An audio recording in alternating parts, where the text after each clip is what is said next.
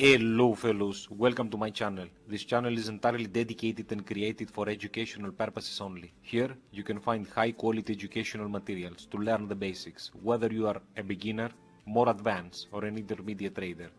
For people that want to see more action, you can check the link on the top right corner. Here we are proving our methods with real accounts. We trade for several years and we show that it can be done profitably. You can subscribe as all profits go to our subs you can find all the details about our accounts. However, since you are new in trading, using real money is almost forbidden.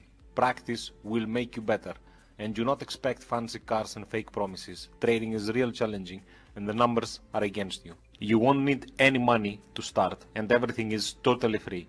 For most of our videos, you will find a link in the description that will lead you into a more advanced version of the video, but as beginners, I do not recommend stay with the basics and demo trading. So let's begin your journey.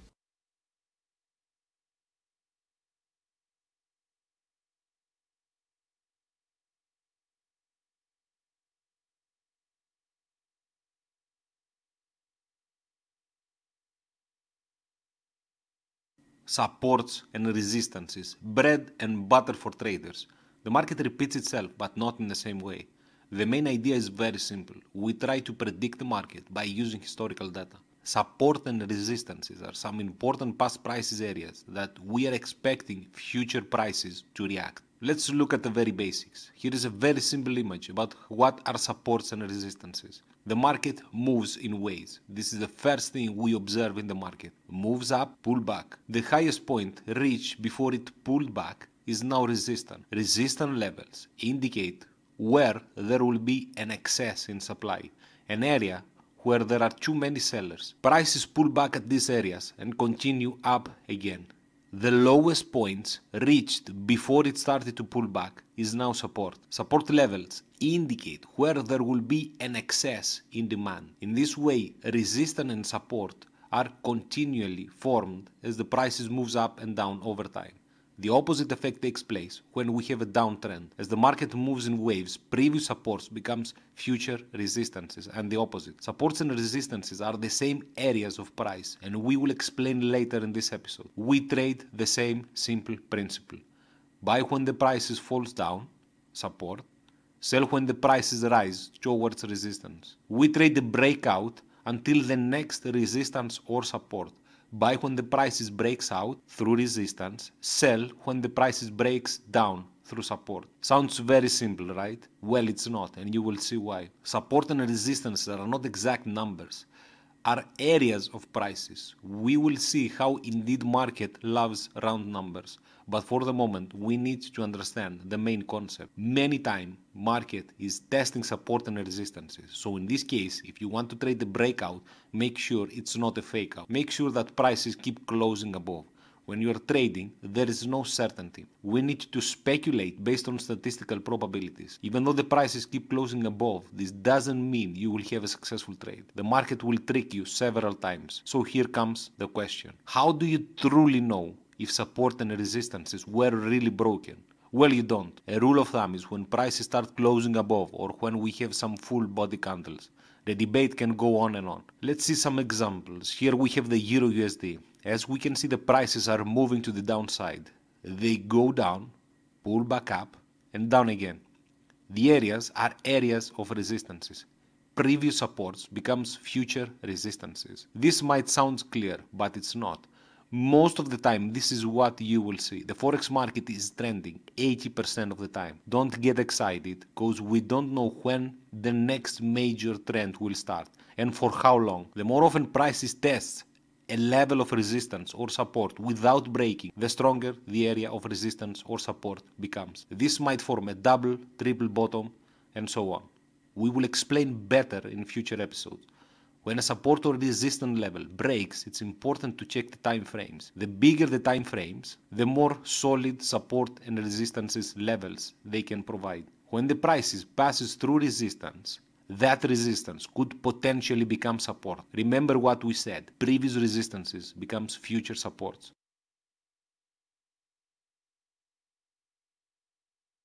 Trend lines are the first step in technical analysis. Your first baby step as a chartist and the most misunderstood. Accuracy when drawing correctly can provide deadly precision in your trading strategy. Most of the time as a new trader, you try to make the lines fit the market instead of the other way around. This is the most common mistake for new traders. We have ascending and descending trend lines goes without saying, and by definition, this is when we have uptrends and downtrends. These trend lines provide some movable supports and resistance levels that the market most likely will respect. Remember, nothing in trading is written in stone. The chaotic behavior is what makes people quit trading in a couple of weeks. We draw the trend lines by locating tops or bottoms and connecting them with a straight line. In this Euro USD example, we have a trend line to the downside and an uptrend line as the market seems to have reversed at this point. Simple as that, right? Well, yes, you found it. It's simple as that. Remember what we said. The market won't necessarily respect these lines. We have three types of trends.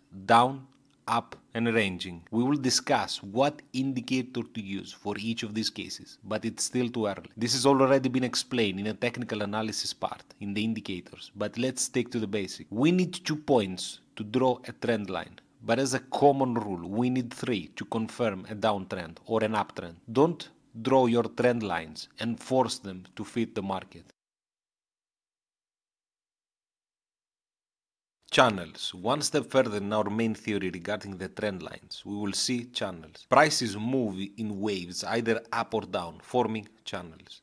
This price channel are another tool in technical analysis. They will be very helpful to identify some good points to enter and exit your trades. Again, these are movable support and resistances. Acting as support and resistances depends the market condition. When the market ranges, we have another form of channel. Usually in this area of consolidation, market builds momentum. A breakout is most likely to happen. You will find more details on how to trade channels and breakouts in the video in the description below. Both tops and bottom channels represent potential area of support and resistances. Channel with negative slope shows that the market is bearish and positive slope shows that the market is bullish. There are several mathematical interpretations in the market on how to use limits to calculate slopes. We will present an experimental indicator that uses this principle. Again, don't get excited. There is no holy grail in trading. Some fancy math simply won't work. There are several theories you can find but again, at these stages, it's too early to discuss. We create a channel by simply drawing a parallel line at the same angle as the line and then moving that line to a position where it touches the most recent peak. This should be done at the same time you create a trend line. The same applies either to down or to an uptrend channel. Also, if the market is ranging. Like the trend lines, we have three type of channel, ascending, descending and horizontal channel. Very important when you design a trend line is both trend lines must be parallel to each other. In your trading platform, you will be able to draw parallel channels. These channels will be obvious after the market makes a move. This is the hardest part in trading. The idea is to try to predict where the prices will move in the future. Again, never forces your line to fit the prices. A channel boundary that is sloping at one angle while the corresponding channel boundary is sloping at a different angle is not correct. This type of chart pattern is no longer a trend channel but a triangle or a pennant. We will see later on about triangles and pennants. You will learn to identify them by experience in time. Try to have a picture of the market. These lines are not perfect. Market won't respect them. You will encounter several times the market will keep going out of these boundaries. All these are some imaginary lines. However, in time and as you trade, you will become able to identify them easier. The lines won't be perfect. Again, they won't look perfect. Thank you very much for watching. Go back, repeat the chapters you are not sure, and trade safe.